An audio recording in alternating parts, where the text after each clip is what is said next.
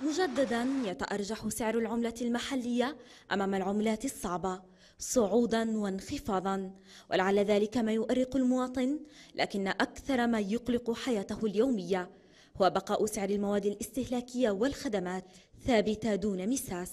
إلا إذا كان تغيرا تصاعديا يتدنى بسببه الوضع المعيشي للمواطنين إلى أدنى مستوى بحسب قول البعض. أنتم يا مسؤولين إذا كرمتم الشعب حقكم بتكرموا بيكرمكم الله وبتحصلوا كرامه عند الآخرين. أنتم هنكم أنفسكم قبل ما تهينونا. أنتم أذلكم أنفسكم قبل ما تذلونا. ربنا أعطاكم وطن أغنى وطن في العالم هو اليمن. في وضع كهذا تكون العملة وارتفاع الأسعار هي المتحكم بحياة الناس.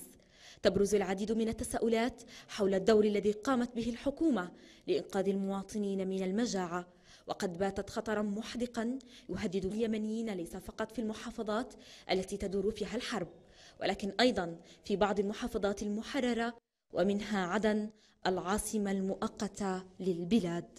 وأنا هنا أعمل من منذ مدة حوالي لي يعني سنتين واصل.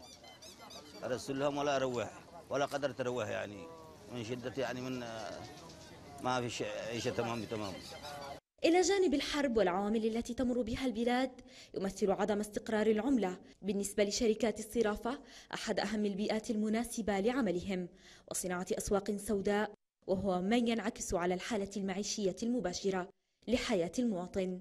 وقبلها الأسواق التجارية التي يلقى التجار فيها بيئة مناسبة للتلاعب بالأسعار وهو ما يبقي سعر العملة المحلية معضلة تعجز السلطات وخبراء الاقتصاد عن إيجاد حلول لها. لطالما ظلت الحرب الاقتصادية أحد أوجه الحرب العسكرية والسياسية. حنين جمال بلقيس عدن